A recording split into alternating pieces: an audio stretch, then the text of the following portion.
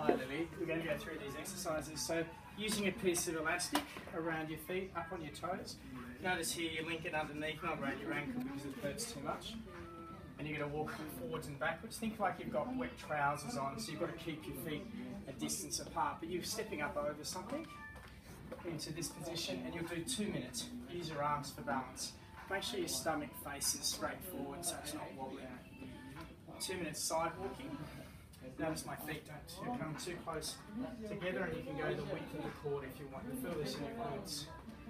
Backwards and forwards, but don't bring your feet too close together. Nice and slow. Two minutes.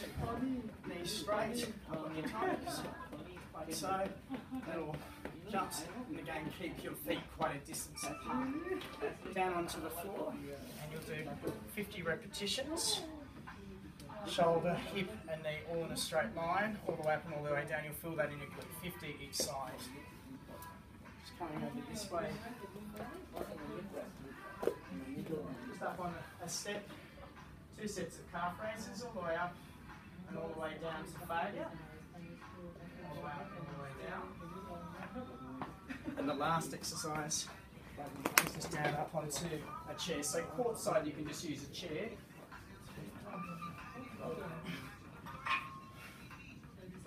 And you'll go through and do 50 each side.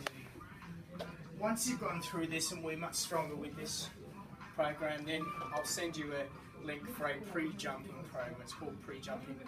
On YouTube, you can look at it, look it up by Simon Raftery, it's called pre-jumping, and it's on YouTube. What I did, me talking, off you go.